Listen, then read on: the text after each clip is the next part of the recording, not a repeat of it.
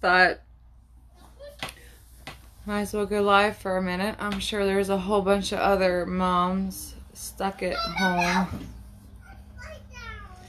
So, what? I was sitting right there, then Asher just pushed it down. Like, Asher, please be nice to the puppy.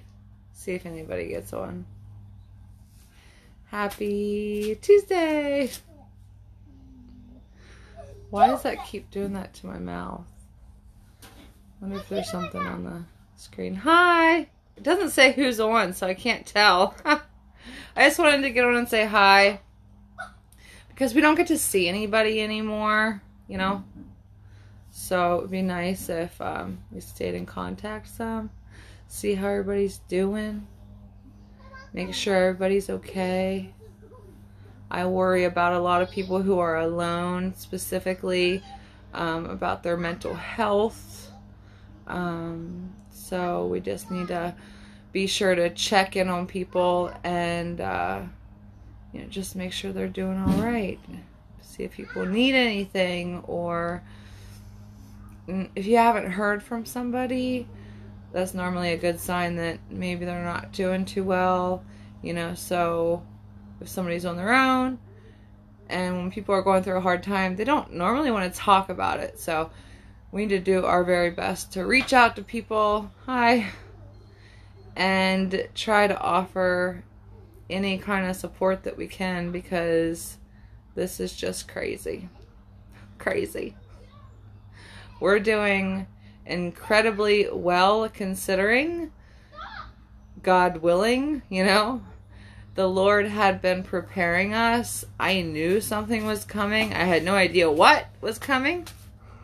But uh we Hello. moved we moved we moved quick, got married quick, got in here quick, quick, quick, quick, quick, and then hello. within a month or something, the war, the whole world shut down. Hello. So, Hello, Mom. hello, hello, Hello. Where's the puppy? You better watch the puppy. He's over there. But there's a lot of stuff I want to talk about. Um, you know, especially for people with children and um, new moms and expecting moms. Him with Going everything. through He's covering the stresses with... of everyday life. Now add in. Oh, he's spilling my coffee. Now he's licking it. Oh, uh, Brewster.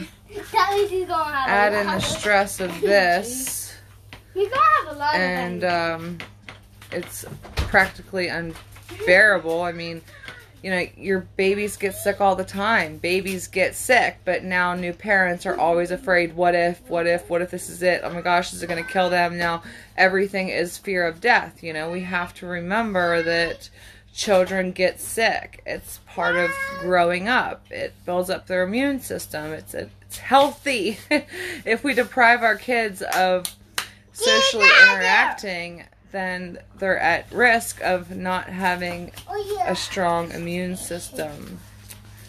So, you know, we can't deprive our children of love, compassion, and social interaction, you know? So, anyway, first thing I go live, um, the dog spilled the coffee and they're trailing it through the house, so I gotta go. But I would love to just get on and talk to you guys sometime. Times, if you're interested, if anybody needs prayer, please let me know. Love you guys. Talk soon. Have a good day.